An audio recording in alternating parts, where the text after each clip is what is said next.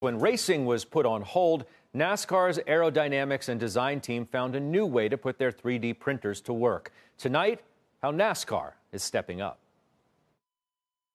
Typically at, at R&D, uh, the aerodynamics and design team would be, you know, working on the next gen car, producing parts, but we've completely switched over to face shields in the interim.